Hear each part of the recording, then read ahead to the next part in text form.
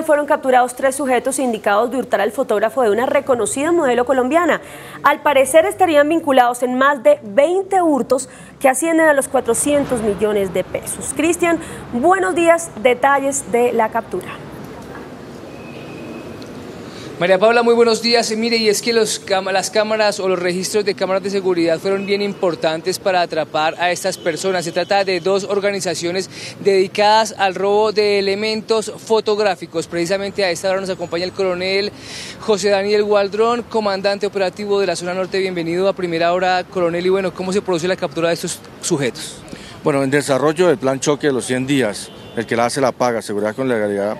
La Policía Judicial de la Metropolitana de Bogotá logra la captura de tres sujetos integrantes de una banda denominada Los Lisos. Esta banda se dedicaba al hurto de equipos tecnológicos, de eventos especiales que se llevan en la ciudad. Se les indica de más de 20 eventos de hurtos que se presentaron a estos delincuentes. Eh, entre las víctimas se contaban eh, periodistas, reconocidos cantantes de música popular, el fotógrafo de una reconocida modelo colombiana. Estos eh, sujetos, una vez hacían estos hechos y sustraían estos elementos, los trasladan hacia el centro de la ciudad, un lugar de acopio, unas prenderías clandestinas, las que fueron allanadas y serán presentadas para extinción de dominio. Coronel, ¿cómo evitar que un ciudadano compre un, elemento de esos robados?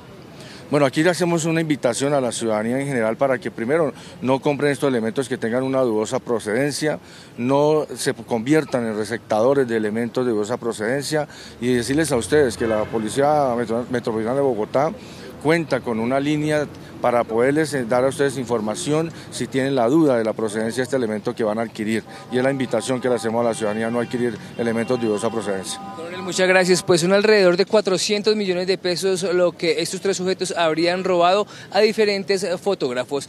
Desde el norte de la capital, Cristian Sandoval García, primera hora, Canal 1.